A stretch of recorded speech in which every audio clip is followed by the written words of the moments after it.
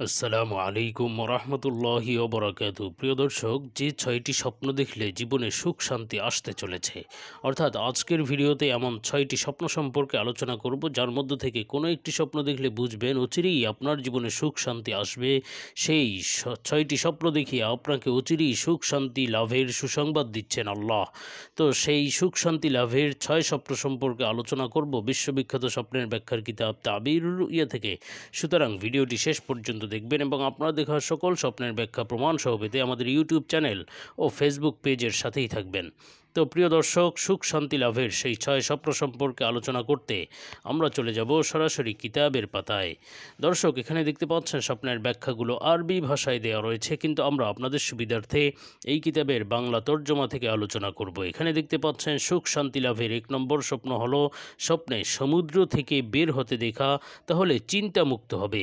অর্থাৎ কেউ যদি স্বপ্নের মধ্যে সমুদ্র থেকে বের হতে দেখে, অর্থাৎ সে সমুদ্রে রয়েছে, কিন্তু সমুদ্র থেকে উঠে যাচ্ছে, এই স্বপ্ন দেখলে বুঝতে হবে, সে চিন্তামুক্ত হবে। আল্লাহ তাআলা তার জীবন থেকে চিন্তা দুশ্চিন্তা দূর করে দিবেন। সে সুখী শান্তিতে জীবন যাপন করতে পারবে ইনশাআল্লাহ। তেমনিভাবে কেউ যদি সমুদ্রে শিকার করতে দেখে, তাহলে হালাল জীবিকা লাভ করবে এবং পরিবার সুখে শান্তিতে জীবন স্বাচ্ছন্দ্য লাভ করবে, সুখ স্বাচ্ছন্দ্যে জীবন যাপন করবে। অর্থাৎ দেখল যে সে সমুদ্রে শিকার করছে। সমুদ্র থেকে বের হচ্ছে না, বরং সমুদ্রে শিকার করছে। তাহলে বুঝতে হবে সে হালাল জীবিকা লাভ করবে। আল্লাহ তাআলা তাকে জীবন জীবিকা হালাল দান করবেন, সাথে সাথে তার পরিবার সুখ স্বাচ্ছন্দ্যে জীবন যাপন করবে, কোনো দুঃখ কষ্ট থাকবে না, সুখী জীবন যাপন করবে। এর প্রমাণ হলো আল্লাহ তাআলার বাণী, আউযু বিল্লাহি মিনাশ শাইতানির রাজিম, উহিল্লা লাকুম সৈদুল বাহরি ওয়া তুআমুহু মাতাআল লাকুম। অর্থ, তোমাদের জন্য হালাল করা হয়েছে সমুদ্রের শিকার এবং তা ভক্ষণ তোমাদের জন্য হালাল করা হয়েছে তোমাদের ভোগের জন্য। সুখ শান্তি লাভের দুই নম্বর স্বপ্ন হলো হজরত মোহাম্মদ ইবনে সিরিন রহমতুল্লা আলাই বলেছেন, স্বপ্নে অনুপযুক্ত স্থানে পানির স্রোত প্রবাহিত হতে দেখা চিন্তিত ও ঋণগ্রস্ত হবে। তবে নিজ স্থানে স্রোত প্রবাহিত হতে দেখা চিন্তামুক্ত ও ঋণমুক্ত হয়ে খুশি হবে। তবে ধনী হলে আর্থিক ক্ষতি হবে। প্রিয় দর্শক, খেয়াল করুন, মোহাম্মদ ইবনে সিরিন রহমতুল্লাহ বলেন, কেউ যদি স্বপ্নের মধ্যে অনুপযুক্ত স্থানে পানির স্রোত প্রবাহিত হতে দেখে, অর্থাৎ যেই স্থান উপযুক্ত নয়, অর্থাৎ যেখানে পানি চলাচলের জায়গা নয়, সেখানে যদি পানির স্রোত প্রবাহিত হতে দেখে, যেমন ঘরে অথবা মাঠে অথবা রাস্তায়, যেখানে পানির স্রোত সাধারণত প্রবাহিত হয় না, সেই স্থানে পানির স্রোত প্রবাহিত হতে দেখলে বুঝতে হবে সে চিন্তিত এবং ঋণগ্রস্ত হয়ে যাবে।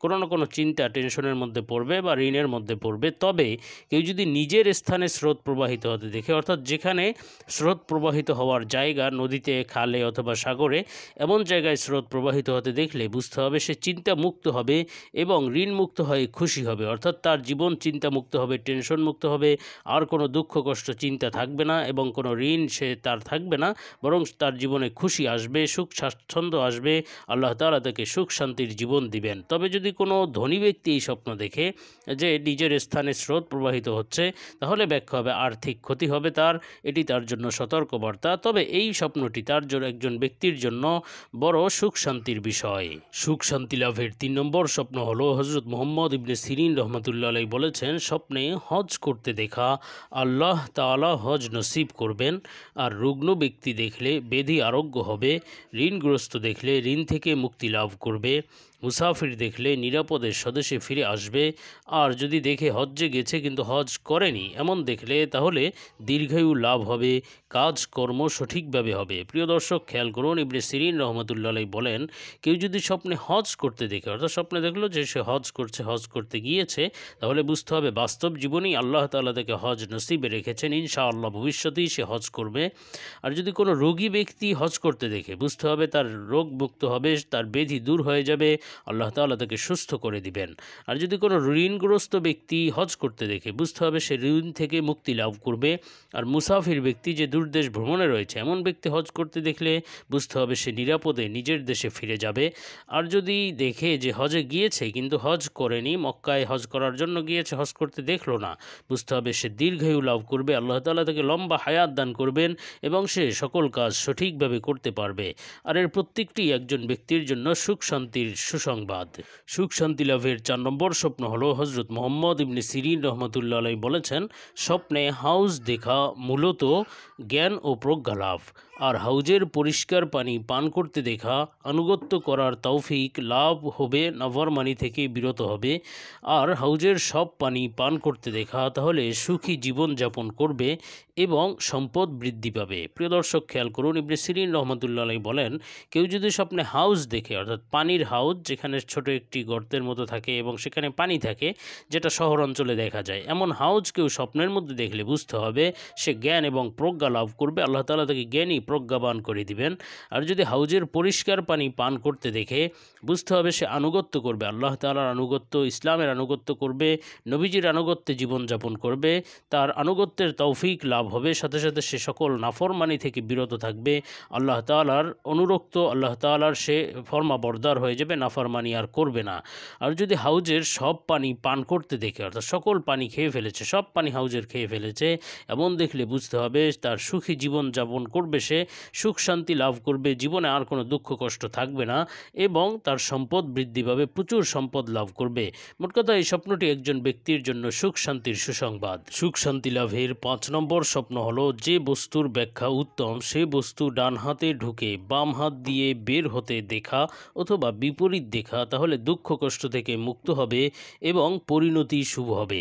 অর্থাৎ স্বপ্নে দেখল যে কোনো বস্তু, যেই বস্তুর ব্যাখ্যা উত্তম মানে উত্তম যেই বস্তু দেখলে উত্তম ব্যাখ্যা হয় স্বপ্নের মধ্যে, যেমন কোরআন শরীফ, ফেরেশতা অথবা জিব্রাইল সালাম, এই ধরনের যেই বস্তু স্বপ্নে দেখলে উত্তম ব্যাখ্যা হয়, এই ধরনের কোনো জিনিস যদি ডান হাত দিয়ে ঢুকে বাম হাত দিয়ে বের হতে দেখে অথবা বিপরীতভাবে বাম হাত দিয়ে ঢুকে ডান হাত দিয়ে বের হতে যেটাই দেখল, বুঝতে হবে তার জীবন থেকে দুঃখ কষ্ট চলে যাবে, দুঃখ কষ্ট থেকে মুক্তি লাভ করবে এবং তার পরিণতি শুভ হবে।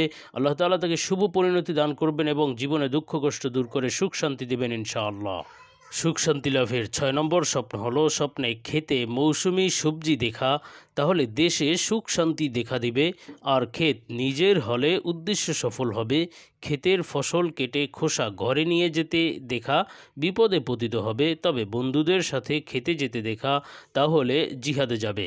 অর্থাৎ স্বপ্নে দেখল যে খেতে মৌসুমি ফসল রয়েছে বা সবজি রয়েছে। শাকসবজি আছে মৌসুমে, যেই মৌসুমে শাকসবজি পাওয়া যায়, সেই মৌসুমে যদি শাকসবজির ক্ষেত দেখে, তাহলে বুঝতে হবে ওই দেশে সুখ শান্তি দেখা দেবে। শুধু তার নয়, সকল মানুষের জীবনে সুখ শান্তি আসতে চলেছে আর যদি ওই ক্ষেত নিজের হয়, নিজের ক্ষেতে যদি মৌসুমি সবজি দেখে, বুঝতে হবে তার নিজের মনের আশা পূর্ণ হবে, উদ্দেশ্য সফল হবে, কোনো কাজ যেই উদ্দেশ্য নিয়ে করছে, সেই উদ্দেশ্য আল্লাহ পূর্ণ করবেন।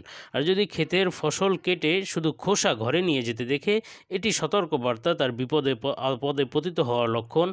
আর বন্ধুদেরকে নিয়ে যদি খেতে যেতে দেখে, বুঝতে হবে সে দিন ইসলাম এবং দেশের জন্য জিহাদে যাবে, যুদ্ধ করার সম্ভাবনা রয়েছে। তবে খেতে মৌসুমি সবজি দেখলে, বুঝতে হবে আল্লাহ তাআলা তার জীবনে সুখ, শান্তি দান করবেন। প্রিয় দর্শক, ভিডিওটি বেশি বেশি শেয়ার করে দিন, যাতে এর মাধ্যমে অপর ভাইও উপকৃত হতে পারে।